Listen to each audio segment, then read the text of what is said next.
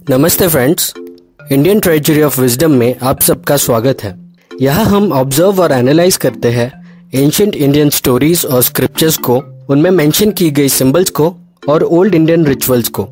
तो आइए देखते हैं कि इन सब में हमें क्या नॉलेज और विजडम छुपा हुआ मिलता है। तो चलते हैं अनगिनत एंशियंट स्टोरीज एंड स्क्रिप्चर्स के सेगमेंट में और पता लगाते हैं कि स्टोरी के पीछे क्या है। Story of lord Ganesha's birth and his elephant head इस स्टोरी के तीन मेन कैरेक्टर्स हैं। ये है भगवान शिव, जो हिंदुइज्म के सुप्रीम गॉड्स में से एक है, जिन्हें डिस्ट्रॉयर और ट्रांसफॉर्मर माना जाता है। ये है देवी पार्वती, जो शिव भगवान की पत्नी है। ये देवी रिप्रेजेंट करती है फर्टिलिटी डिवोशन और पावर को। और ये है भगवान गणेश, जो इन दोनों के संतान है। ये बुद्धि को रिप्रेजेंट करते हैं, यानी गॉड ऑफ़ विजडम और इन्हें विघ्नहर्ता माना जाता है। ये स्टोरी हमें कई सारे पुराणों में मेंशन की हुई मिलती है और इसके कई सारे वर्जन हैं। तो इसीलिए हम इस स्टोरी के डिटेल्स को इग्नोर करेंगे और एकदम शॉर्ट में स्टोरी को बताएँगे। तो आइए स्टार्ट करते हैं। भगवान शिव अक्सर अपने काम में बहुत बिज़ी हुआ करते थे और काम के चलते कई दिनों तक घर से दूर रहते थे। देवी पार्वती को घर में बहुत अकेलापन महसूस होता था और उन्हें अक्सर घर में काफ़ी इनसिक्योर फील होता था। एक दिन नहाते वक्त देवी पार्वती को एक संतान पाने की इच्छा होती है। नहाते वक्त निकले हुए अपने शरीर के मैल से वो एक बच्चे का आकार बनाती है और उसमें जान डाल देती है। वो बच्चा जीवित हो जाता है और देवी पार्वती उसे अपना बेटा मानकर बहुत प्यार करती है और अपने साथ रखती है।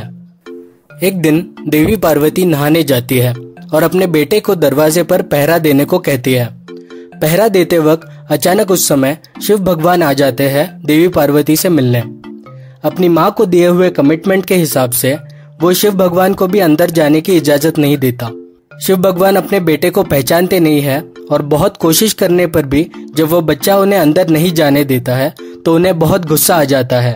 और गुस्से में वो अपना त्रिशूल निकालते हैं और उस बच्चे का सर धड़ से अलग कर देते हैं।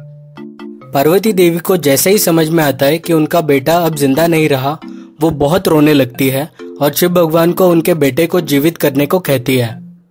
भगवान शिव को रियलाइज़ होता है कि उनसे बहुत बड़ी गलती हो गई है और वो अपने गनों को मतलब अपने लोगों को जंगल में भेज देते हैं कोई दूसरा सिर ढूंढ के लाने के लिए।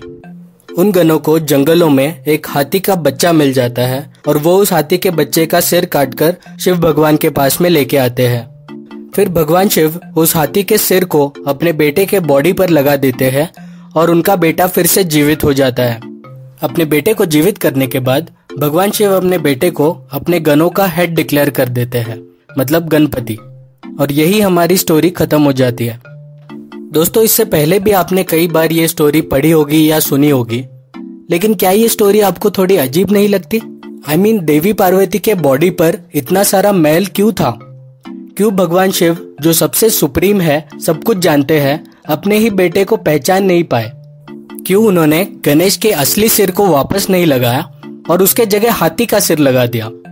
अगर मान भी लिया जाए कि असली सिर डैमेज हो गया था पूरी तरीके से तो किसी और ह्यूमन का सिर क्यों नहीं लगाया? कंफ्यूज चलिए एनालाइज करते हैं। पहले हम एलिफेंट हेड की बात करते हैं। आपने पहले भी काफ़ी बार पढ़ा होगा या सुना होगा कि गणेश भगवान का एलिफेंट हेड सिंबलाइज करता है इंटेलिजेंस और विजडम को। एक एलिफेंट हेड के बड़े कान सिंबलाइज करते हैं गुड लिसनर को। छोटा मुँह सिंबलाइज होता है कम बात करना। सूंड सिंबल होता है एफिशिएंसी का एक्सेट्रा एक्सेट्रा इन सिंबलिज्म्स के बारे में आपने पढ़ा होगा काफ़ी बार बट ये सिंबलिज्म्स क्यों है? और हाथी का ही सिर क्यों यूज़ किया गया है सिंबल के तौर पे? इसके पीछे एक्चुअली साइंटिफिक रीजंस है। एक हाथी का ब्रेन सारे लैंड मैमल्स में सबसे बड़ा होता है। हाथी के ब्रेन का हिपोकैम्पस बहुत डेवलप्ड होता है और उसका सेरेब्रल कॉर्टेक्स भी बहुत बड़ा होता है। और इनफैक्ट उनके ब्रेन में न्यूरॉन्स और सेनेप्सिस भी उतने ही पाए जाते हैं जितने कि ह्यूमन ब्रेन्स में होता है। इसीलिए एलिफेंट्स काफ़ी इंटेलिजेंट और काफ़ी अच्छे प्रॉब्लम सॉल्वर्स होते हैं। इसीलिए एलिफेंट हेड को नॉलेज और विजडम का सिंबल माना गया है।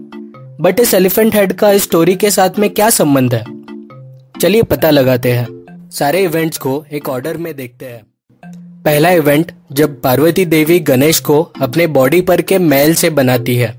स्क्रिप्चर्स के हिसाब से गॉडेस पार्वती को फर्टिलिटी की देवी माना जाता है और वो स्ट्रेंथ और पावर को भी रिप्रेजेंट करती है।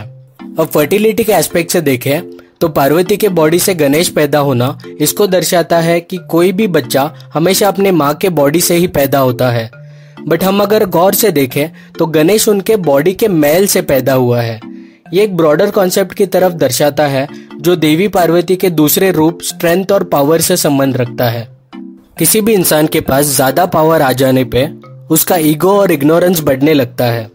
इस पैरेलली बढ़ने वाले ईगो या इग्नोरेंस को बॉडी का मैल बताया गया है। अब हमारे दूसरे इवेंट में शिव भगवान मैल से बने हुए उस बच्चे का सिर काट देते हैं। शिव भगवान को स्क्रिप्चर्स में कहा जाता है कि वो डिस्ट्रॉयर है, यानी कि डिस्ट्रक्शन के देवता और ट्रांसफॉर्मर भी है। यहाँ शिव भगवान एक्चुअली रिप्रेजेंट करते हैं इनर कॉन्शियसनेस को।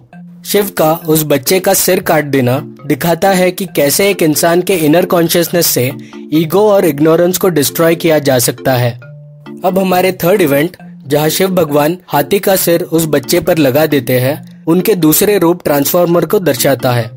एग्जैक्टली exactly जैसे इनर कॉन्शियसनेस से ईगो और इग्नोरेंस ट्रांसफॉर्म या रिप्लेस होता है नॉलेज और विजडम से, जिसका सिंबल है एलिफेंट हेड अब हमारे चौथे और आखिरी इवेंट को भी समझते हैं। यहाँ शिव भगवान अपने बेटे को अपने लोगों का हेड मतलब अपने गनों का हेड गणपति डिक्लेयर कर देते हैं।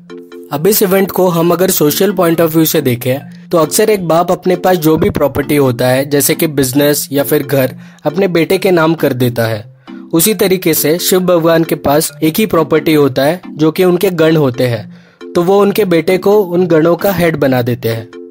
बट क्या ये इवेंट सिर्फ़ इतना ही दर्शाता है? थोड़ा और ब्रॉडर वे में देखते हैं। गण का मतलब इंग्लिश में होता है ग्रुप और पति का मतलब होता है लीडर तो गणपति का एक्चुअल मीनिंग हुआ ग्रुप लीडर और एक ग्रुप लीडर वही बनता है, जिसमें नॉलेज और विजडम होता है, यानी कि एलिफेंट हेड और एक ग्रुप लीडर लोगों के काम में आने वाली मुश्किलों को भी दूर करता है और उनके सारे प्रॉब्लम्स रिजॉल्व करता है. इसीलिए गणपति को विघ्नहर्ता या फिर विघ्नेश्वरा कहते हैं, यानी कि प्रॉब्लम सॉल्वर तो दोस्तों स्टोरी के पीछे हमें क्या मिला? इस स्टोरी में हिडन मीनिंग ये है कि एक इंसान को जब पावर दिया जाता है तो उसमें ईगो और इग्नोरेंस बढ़ जाने के चांस होते हैं, जो कि अच्छी बात नहीं होती। उस ईगो को अगर इनर कॉन्शियसनेस से अगर हम नष्ट करते हैं और रिप्लेस करते हैं नॉलेज और विजडम से तो हम ट्रू मीनिंग में अच्छे लीडर और प्रॉब्लम सॉल्वर बन सकते हैं और उस पावर का अच्छा इस्तेमाल कर सकते हैं। फॉर एग्ज़ाम्पल अमित एक कंपनी में बहुत मेहनत से काम कर रहा होता है। एक दिन उसे उसकी कंपनी काफ़ी अच्छा प्रमोशन दे देती है और उसे टीम लीडर बना देती है। बट टीम लीडर बनते ही अचानक अमित का एटीट्यूड अपने टीममेट्स के प्रति चेंज हो जाता है और उसमें एक घमंड आ जाता है।